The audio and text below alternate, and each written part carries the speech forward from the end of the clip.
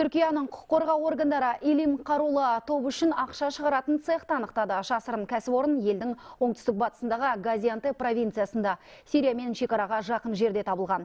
Полиция операция барысында 6 адамды қолға түсірді.